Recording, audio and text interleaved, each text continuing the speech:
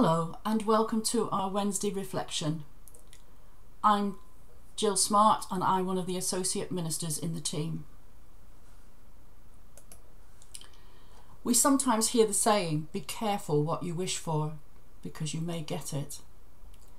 It may be something you desire that someone else has or something you've seen in a shop window or even something like, if I had plastic surgery then my life would be perfect. Many people want something to make their life complete, but they don't stop to think about what they already have or what having what they want would do to their lives. If there are problems in life, the problems will still be there even if they get everything they covet. Here is a reading about the people of Israel asking Samuel for a king, because of course we all know that voting in the right leader will solve all the problems. Our reading is taken from 1 Samuel chapter 8, verses 4 to 11 and 16 to 20.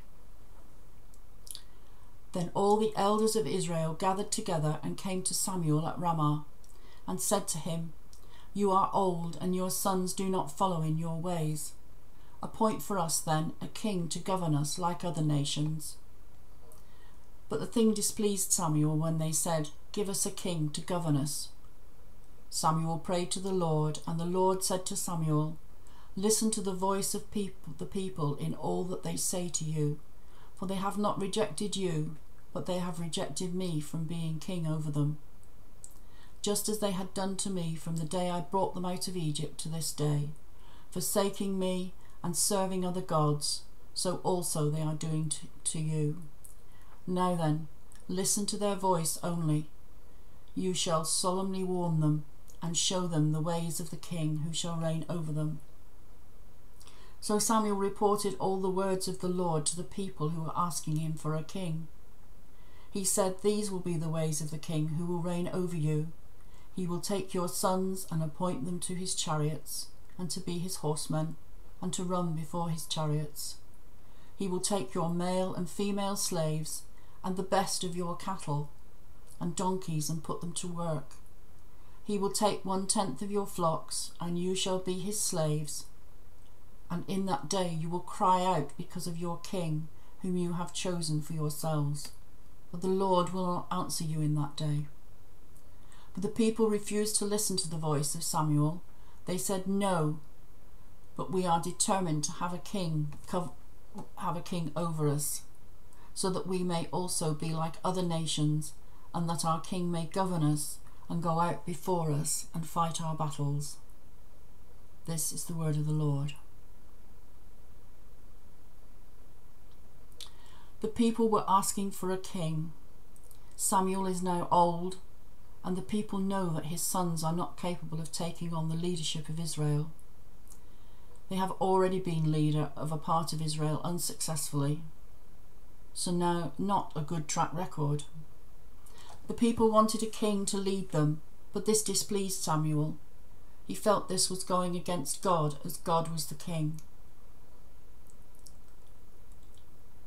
He, however, God told Samuel it wasn't Samuel the people were against, but God himself. But why did the people want a king? There were three reasons. One, all the surrounding nations had a king, and they thought that they needed a king to lead them to show their authority. Two was concern about who would lead them when Samuel died. Everybody knew how useless his sons were. Three, the people wanted a king who would represent power and security and then lead them into battle. A king would change many things in the country. There are some good kings, but many were corrupt. Israel had 43 kings over 450 years.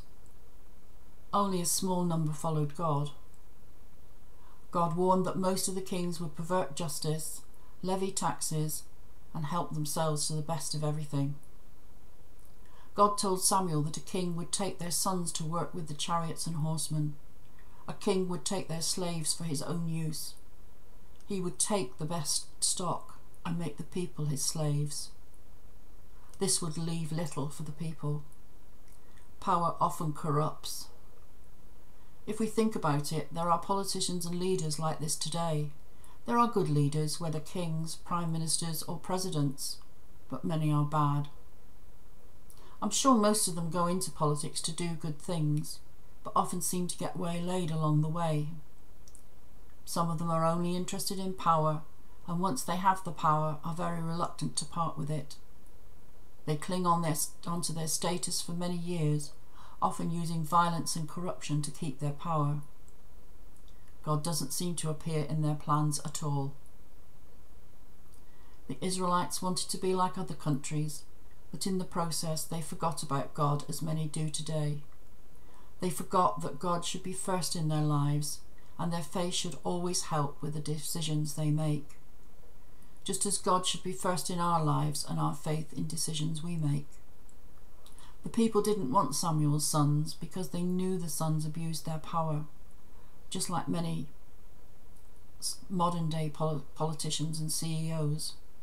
They were warned that leaving God out of the equation would, would, would get rid of the stability and security they desperately wanted. They got their kings, but their country wasn't secure and stable, stable over the coming years. So, I would advise you to be careful about what you ask for. You may get it, and it really hasn't solved all your problems. If things are bad now, then they will probably be bad after you get what you prayed or wished for.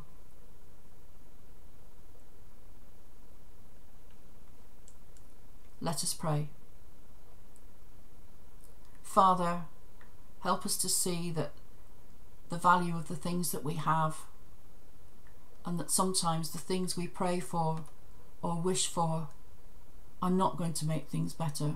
They aren't going to be good for us.